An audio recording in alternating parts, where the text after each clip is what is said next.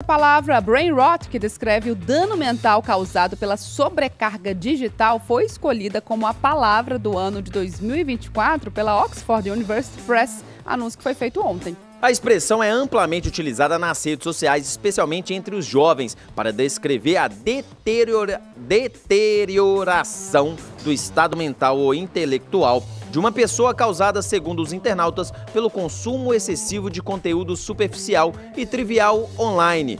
A escolha, gente, reflete a forma como os jovens estão moldando e deturpando a linguagem, especialmente nas plataformas como TikTok.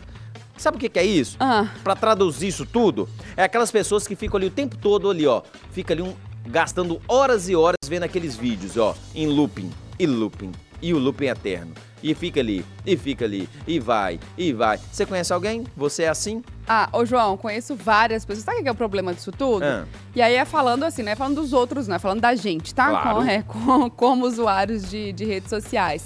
Quando você entra nesse loop, você não tem noção do tempo mais, você perde a noção completamente. Você já observou que às vezes você vai fazer alguma coisa e fala assim, ah, vou entrar no aplicativo da farmácia aqui porque eu preciso comprar um remédio. É. Aí você abre ali, tem uma notificação, você fala, ah, não, só vou dar um pulinho aqui no aplicativo da rede social antes. Você nem lembra mais o que você ia fazer depois. Não compra o remédio, não abre o aplicativo da farmácia. Quando você assusta, você já passou ali 20, 30, 40, 50 minutos, uma hora.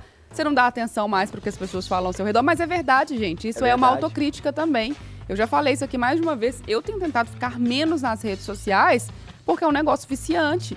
Você começa a ver esses videozinhos curtos aí com coisinhas engraçadinhas. Aquilo toma conta da vida da gente, João, e a gente vai embora. Deixa eu te falar, eu não me, não me pega não, sabia? É, eu sei, você não, você não é tanto assim, É, né? eu, é, eu conheço pessoas, pessoas muito próximas que ficam ali, sim, é, nem conversa, né? Você vai trocar uma ideia ali, é, passa longe. Mas não me, não me pega, Carol. Não E o pega. termo, né, João? Brain rot, você vai traduzir aí literalmente, você vai falar de um cérebro podre. É, e isso, isso é, o, é o, o- o- me chamou a atenção isso, Carol. Porque assim, é, e é realmente, porque você fica ali, você não trabalha a sua cabeça, você não trabalha ali o, o- até a comunicação com a outra Você pessoa. deixa de ler, você deixa de fazer uma boa leitura, você deixa de Exatamente. conversar, você deixa de viver, a você deixa de olhar pra cidade onde você vive. É assim que funciona, você fica preso no negócio, é quase uma prisão.